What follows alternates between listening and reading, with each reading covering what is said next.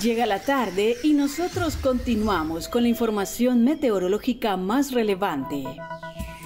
Precipitaciones ocasionales en Atlántico, sur de La Guajira, inmediaciones de la Sierra Nevada y el sur de Córdoba, Sucre, Bolívar y Cesar. El archipiélago de San Andrés y Providencia podría experimentar una tarde con lluvias esporádicas ocasionales.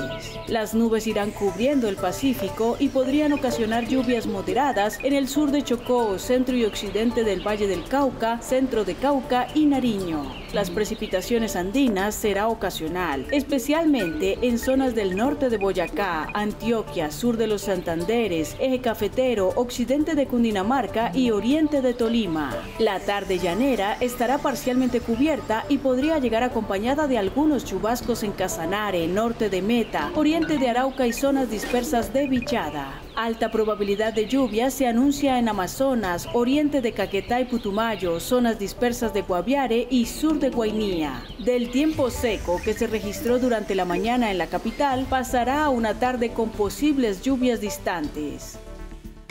En esta sección los invitamos a conocer un resumen de las alertas.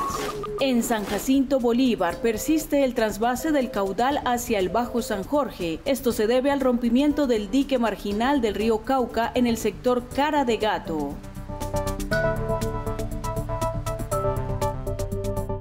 Máxima alerta por probabilidad de incendios en La Guajira, Cundinamarca, Los Santanderes, Huila y Tolima.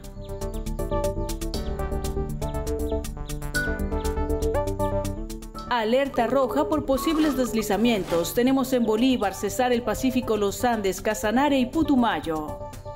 Síguenos en nuestras redes sociales. Nuestro compromiso es con el medio ambiente. IDEAM es confianza y prevención.